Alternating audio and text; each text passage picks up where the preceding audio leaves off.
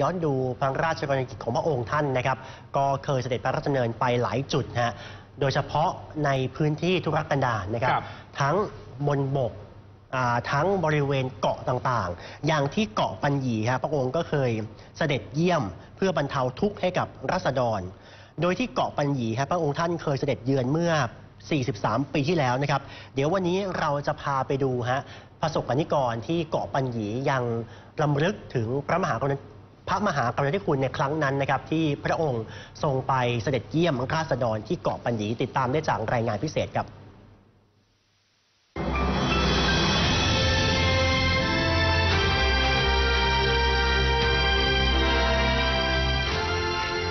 วันที่ 17 เมษายน พุทธศักราช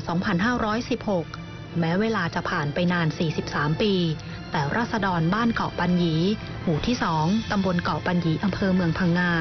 หมู่บ้านกลางทะเลในอ่าวพังงามิอาจลืมไปจากความทรงจำได้ เพราะเป็นวันที่พระบาทสมเด็จพระปรมินทรมหาภูมิพลอดุลยเดชเสด็จพร้อมด้วยสมเด็จพระนางเจ้าพระบรมราชินีนาถสมเด็จพระเทพรัตนราชสุดาสยามบรมราชกุมารี และสมเด็จพระเจ้าลูกเธอ เจ้าฟ้าจุฬาภรณ์วลัยลักษณ์อัครราชกุมารีส่งเยี่ยมราษฎรที่กลางทะเลแห่งนี้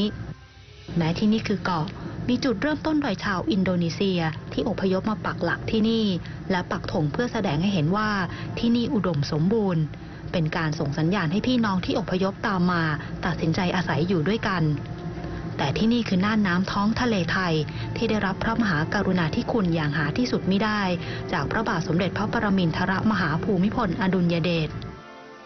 ในครั้งนั้นพระองค์ท่านเสด็จมาจากจังหวัดภูเก็ต ด้วยเรือหลวงจันทรและจังหวัดพังงาได้จัดเรือยนต์ชื่อเรือพระที่นั่งนงพังงามาขึ้นที่ท่าเรือโรงเรียนเกาะปัญญีประมาณเที่ยง และใช้เวลาเยี่ยมราษฎรบนเกาะปัญญีประมาณสองชั่วโมง โดยพระราชทานเสื้อผ้า เครื่องนุ่งห่มแก่คนชราและคนยากจน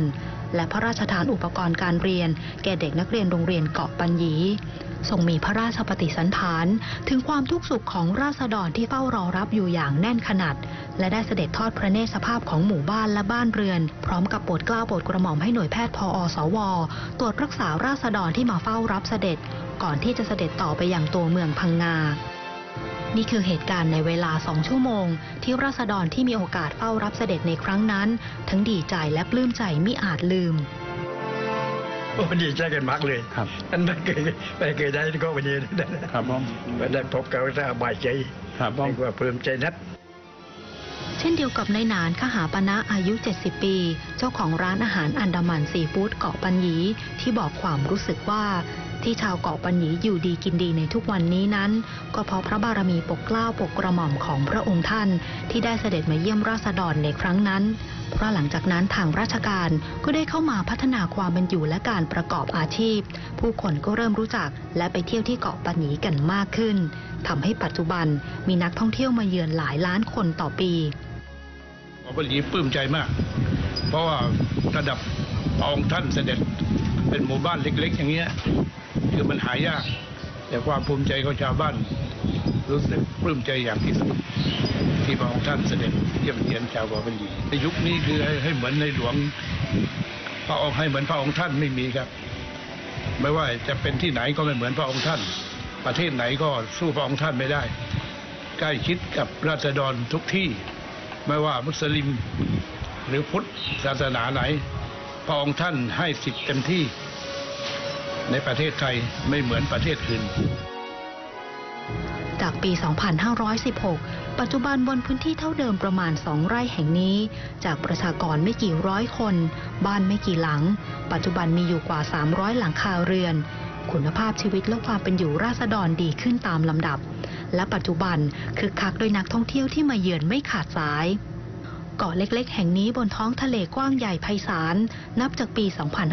2516 จึงอบอุ่นด้วยพระบารมี ในพระบาทสมเด็จพระปรมินทรมหาภูมิพลอดุลยเดชด้วยสำนึกในพระมหากรุณาธิคุณอย่างหาที่สุดมิได้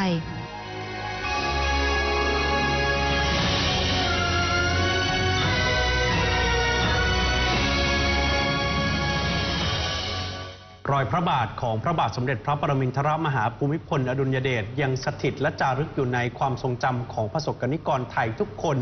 ที่ยังสำนึกในพระราชกรณียกิจน้อยใหญ่นานาประการของพระองค์ครับ